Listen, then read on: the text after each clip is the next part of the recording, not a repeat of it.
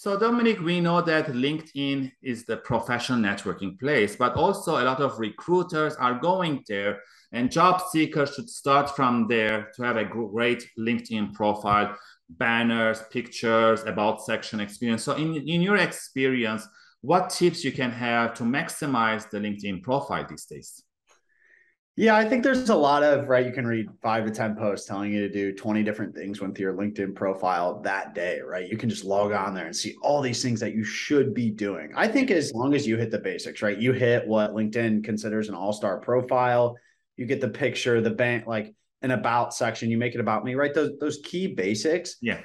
And then one of like a different way that I, you know, recommend people use LinkedIn is it's a really powerful like investigating resource. Like i put my so when when i'm working with clients we're focusing on conversations. Who can i talk to that's going to put me in the right role or mm-hmm. open the right door or give me information about the role that makes me able to make a better decision about where i want to go with my career? Yeah. And so there that's when you start looking at first connections second connections third connections. You mm-hmm. start filtering by role by people by group and i think that's the really powerful part about LinkedIn. So I think you really just go to that search bar, go to that search bar and start using those filters that, you know, may apply to you. Say you're looking at your alumni organization or you're looking at, hey, I need to talk to product managers in this state and I need to find out what they're doing there. Mm-hmm. that's one way you can do it. And I always, on that point, I always recommend people starting with like a common ground. So if it is that alumni organization or just any other group you've been a part of, I think that's when you're going to make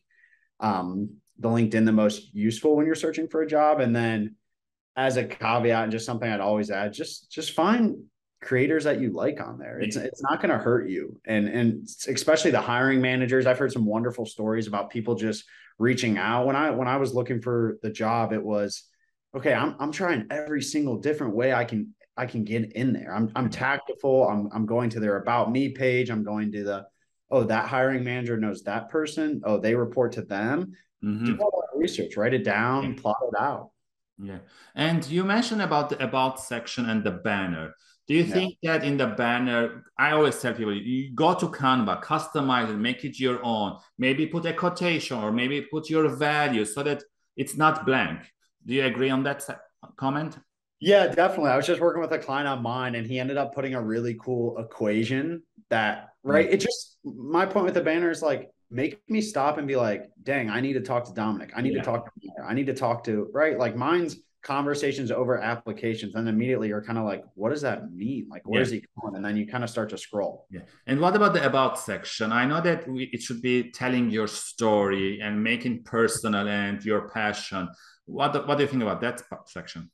I think it's a great place to just be human. I I, I mm-hmm. hate going to these ones that are done in maybe third person. I'm sorry, like yeah. I don't like that's just not right. I want to know who you are, maybe what you do, right? So I think it's a great place to include a little bit about hey, where I've been professionally, starting that off. Like, hey, I've been here X, Y, and Z professionally, and then highlight some significant accomplishments. Like, yeah. doesn't be a list of five to ten, but three to five, and then hey, a personal note about you are you a super big sports fan? Do you like to go hiking on the weekends? Or a quote that means a lot to you? And I think it, it's best to keep it short, right? I mean, you come to mind and it's it's long because I'm running a business here and, mm-hmm. and I want a longer note about me. But I think when you show me that personal side, I'm always like, dang, here's a place I can connect with this person, or I really like what they achieved in that role. And, yeah. and you give yourself a quick highlight.